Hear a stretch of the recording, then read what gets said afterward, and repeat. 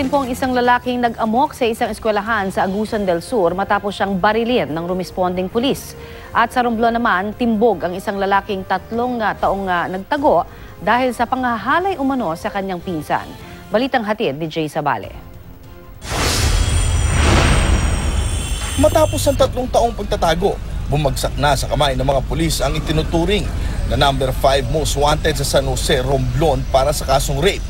Ayon sa hepe ng San Jose Police, matagal na nilang pinaghahanap ang sospek matapos umanong gahasain ang pinsang babae na nooy minor de edad.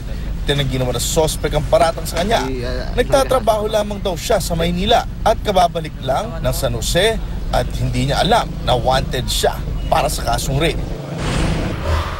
Nabisto naman ang kalakalan ng iligal na droga sa loob ng Dumaguete City Jail sa Negros Oriental. Yan ay matapos mahuli sa isang entrapment operation ang isang babaeng runner umano ng iligal na droga. Nakuha mula sa suspect na si Marie Tolentino ang labing isang pakete ng inihinalang shabu.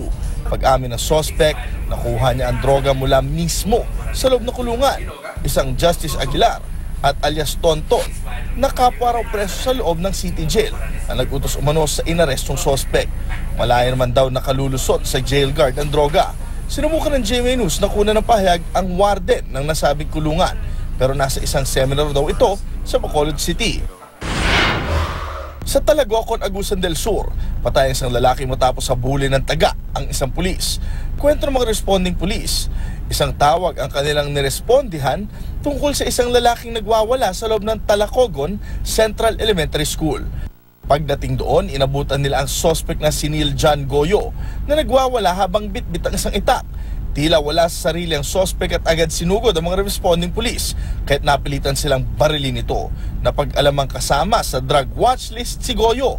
Hinala ng otoridad lang sa droga ang sospek sa mga oras na iyon. Jay Sabale, GMA News.